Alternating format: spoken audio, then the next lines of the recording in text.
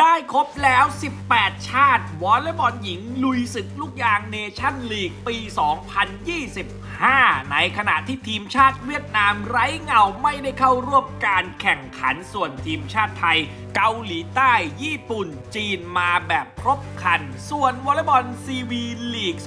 2024 ได้ 7 ทีมเข้าร่วมการแข่งขันพร้อมประกาศสัปดาห์ที่ 1 แข่งช่วงเดือนสิงหาคมนี้พร้อมสัปดาห์ที่ 2 กลับมาแข่งที่ไทย ในขณะที่ทีมชาติไทยชุด U20 AVC เจอกับเกาหลีใต้ เปิดสาเหตุทำไมถึงแพ้เกาหลียับขนาดนี้ทั้งหมดนี้ติดตามไม่ในแต่โมโลงเปียพงยิงครับมาดูกันที่ข่าวสารของวอลเลย์บอลสาวไทยชุดใหญ่กันบ้างนะครับ ต้องบอกเลยนะครับว่าการแข่งขัน CB League เนี่ยที่จะมีขึ้นในปีนี้เนี่ย 2024 นะครับ ก็ ได้สรุปแล้วนะครับว่าจะมีแข่งขันกันช่วงไหนบ้าง แล้วก็มีทีมใดบ้างเนี่ยนะครับตอนนี้มี 7 ประเทศเข้าร่วมนะครับก็มีไทย มาเลเซีย ฟิลิปปินส์กัมพูชา อินโดนีเซีย สิงคโปร์และเวียดนามนะครับซึ่งกำหนดการแข่งขันเนี่ย SEA V League นะครับ2024 สัปดาห์แรก ทีมหญิงนะครับ2-4 สิงหาคม อันนี้ไปแข่งที่เวียดนาม นะครับ แล้วก็9-11 สิงหาคมก็จะกลับมาแข่งที่ไทยนั่นเองนะครับ ในสัปดาห์ที่ 2 ส่วนอีกรายการหนึ่งนะครับ เป็นรายการใหญ่ที่เพิ่งจะผ่านพ้นไปนั่นก็คือ VNL นะครับ ล่าสุดเลยศึกลูกยางเนชั่นลีกปีหน้านะครับ ตอนนี้ได้ครบ 18 ชาตินะครับ เพื่อลงแข่งขันกันนะครับ ในช่วงของปีหน้า 18 ชาตินะ เพิ่มมา 2 ทีมนะครับคือล่าสุดเนี่ยเตรียมเดินทางเข้าสู่ครั้งที่ 7 แล้วสำหรับการจัดการแข่งขันวอลเลย์บอลหญิงเนชั่นลีกที่จะจัดขึ้นในทุกช่วงเดือนมิถุนายนถึงกรกฎาคมของทุกปี หลังจากที่จัดแข่งครั้งแรกในเมื่อปี 2018 นะครับ โดยในปี 2025สหพันธ์วอลเลย์บอลนานาชาติ หรือว่า FIVB ออกมายืนยันว่าจะมีการเพิ่มทีมจากเดิมเนี่ย 16 ชาตินะครับ ขยับไปเป็น 18 ชาตินะครับ ที่จะลงแข่งขันทั้งหมด 3 สัปดาห์ เหมือนเคยเลยนะครับ ถึงตอนนี้เนี่ยได้ทีมที่จะเข้าแข่งขันครบ 18 ชาติเป็นที่เรียบร้อยแล้ว หลังจากการลงสนามไปนะครับ ของศึกลูกยาง Challenger League 2024 ที่ประเทศฟิลิปปินส์รับหน้าที่เป็นเจ้าภาพนะครับ ปิดฉากลงไป ซึ่งทำให้ได้อีก 2 ทีม ที่จะเลื่อนชั้นเข้ามาร่วมแข่งขันประกอบไปด้วยสาธารณรัฐเช็ก แชมป์ Challenger League 2024 นะครับ แล้วก็เบลเยียมที่จบรายการด้วยอันดับ 4 แต่มีอันดับโลกที่ดีที่สุดในบรรดาทีมจึงได้เลื่อนชั้นขึ้นไปนะครับ ก็สรุป 18 ทีมนะครับ มีใครบ้าง มีอิตาลีอันดับ 1 บราซิล อันดับ 2 ตุรกีอันดับ 3 โปแลนด์อันดับ 4 นะครับ สหรัฐอเมริกาอันดับ 5 จีน 6 ญี่ปุ่น 7 นะครับเนเธอร์แลนด์ 8 ไล่เรียงลงมาเลยนะครับ เซอร์เบีย แคนาดา โดมินิกัน เยอรมัน แล้วก็ไทยอันดับที่ 14 ครับ ฝรั่งเศส บัลแกเรีย เกาหลีใต้ สาธารณรัฐเช็ก และเบลเยียมนั่นเองนะครับ ไม่มีรายชื่อของเวียดนามนั่นเองนะครับอะมาต่อกันที่ข่าวที่แฟนวอลเลย์บอลเนี่ย โอ้โห เสียดายมาก ๆ เลยนะ คือซารินะโคกะนะครับ ล่าสุดประกาศ ผ่านอินสตาแกรมซารินะโคกะเนี่ยนะครับว่าจะเลิกเล่นทีมชาติหลังจบโอลิมปิกเกมส์ที่ปารีส 2024 เขาพูดว่าอย่างนี้ครับ ขอขอบคุณสำหรับการสนับสนุนและให้กำลังใจอย่างมากนะฮะเสมอมา ฉันมีข่าวจะแจ้งให้ทุกคนทราบ หลังจากจบโอลิมปิกที่ปารีส 2024 ฉันจะเลิกเล่นนะครับ ฉันเริ่มเล่นวอลเลย์บอลตั้งแต่ป .2 และด้วยความตั้งใจที่เล่นวอลเลย์บอลให้เก่งขึ้น ฉันสามารถเล่นได้จนถึงอายุ 28 ปี ด้วยความช่วยเหลือจากทุกคน ประสบการณ์และการพบปะทั้งหมดได้สร้างตัวฉันในปัจจุบันขึ้นมา ฉันรู้สึกขอบคุณจริง ๆ ฉันวางแผนจะแถลงข่าวเลิกเล่นหลังจากโอลิมปิกที่ปารีส ฉันจะทุ่มเทชีวิตวอลเลย์บอลทั้งหมดในการแข่งขันโอลิมปิกที่ปารีส กรุณาสนับสนุนจนถึงนาทีสุดท้ายด้วยโคกะซารินะนั่นเองนะครับ ก็ต้องบอกว่าโหน่าเสียดายนะถ้าไม่ได้เห็นโคกะในนามทีมชาติ แต่ว่าคาดว่าก็คงจะยังเห็นการลดแล่นอยู่ในการแข่งขันที่ ญี่ปุ่นต่อไปนะครับ เพราะว่าเขาก็เป็นลีกอาชีพที่ค่อนข้างที่จะดีมากๆเลยนะครับ แต่ว่าโอ้โหน่าเสียดายแฟนวอลเลย์บอลก็อยากจะเห็นไงนะฮะในนามทีมชาติไปเรื่อยๆ แต่ถือว่ารีทายทีมชาติค่อนข้างเร็วนะ อายุ 28 ปีเท่านั้นเองนะครับ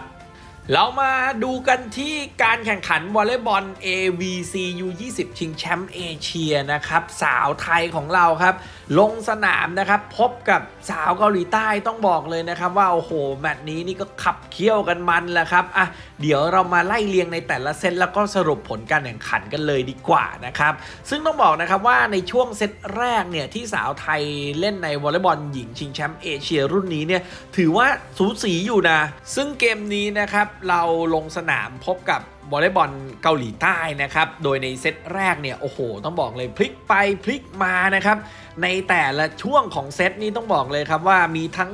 ตอนกลางเซตเนี่ย10 11 11 11 นะครับ ของเราเนี่ยเกมนี้ในช่วงเซตแรกก็ถือว่าบล็อกได้ดีนะ แต่ก็จะมีจังหวะพลาดเอง จังหวะที่เราขาตายอะไรประมาณนี้นะครับ ก็มีบ้างนะครับ แต่จังหวะตบผมว่ามีดีหลาย ๆ ลูกเลย เราเพิ่งจะมาเสียในช่วงท้ายของเซตแรกเท่านั้นเองนะครับ ในจังหวะขึ้นตบเนี่ยไม่ว่าจะเป็นทางด้านของประพัชยาเนี่ยดีมากนะตบเป็นลงตบเป็นลงนะเออหรือว่าการที่เรา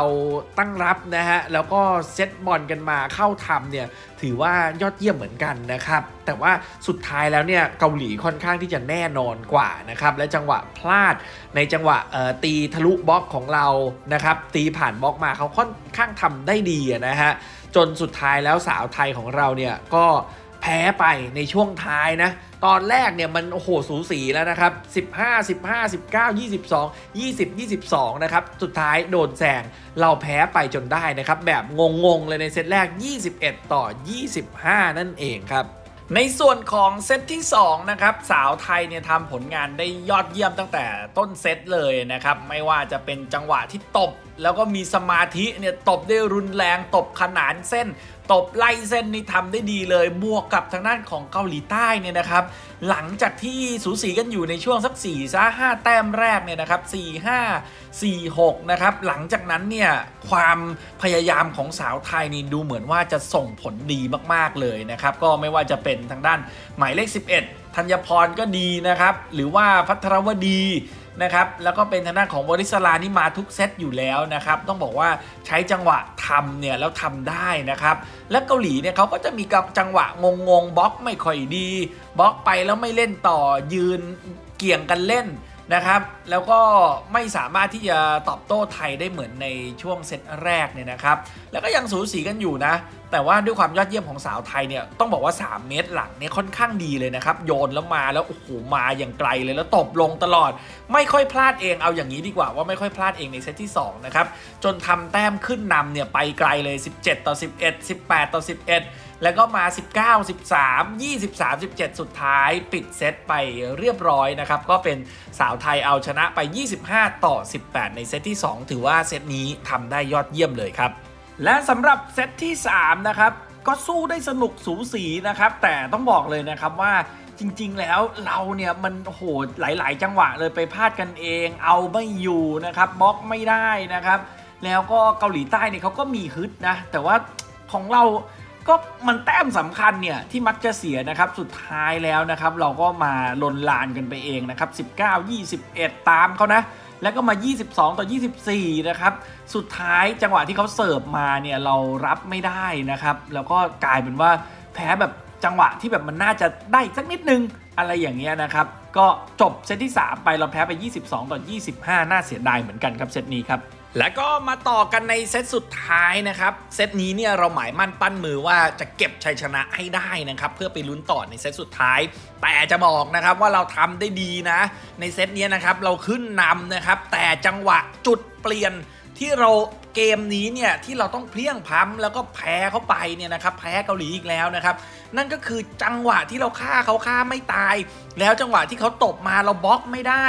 บล็อกแตกทุกครั้งนะครับบล็อกแตกบล็อกกระโหกระเด็นกระดอนไปไหนก็ไม่รู้คือบล็อกไม่สำเร็จนั่นเองนะครับตีทัชบล็อกตียัดบล็อกนะครับซึ่งเกาหลีใต้เนี่ยทำแบบนี้เรื่อยๆเรื่อยๆเลยนะครับก็เลยทำให้ทีมชาติไทยเนี่ยสูสีอยู่สูสีอยู่โดนพลิกแซงขึ้นนำแบบนี้นั่นเองนะครับก็ต้องบอกเลยแต้มมันมาสูสีจนกระทั่ง 20 ต่อ 21 เนี่ยครับสุดท้ายเราก็เกือบได้นะเซตเนี่ยจากวริสลาเนี่ยนะครับแต่ว่าเรา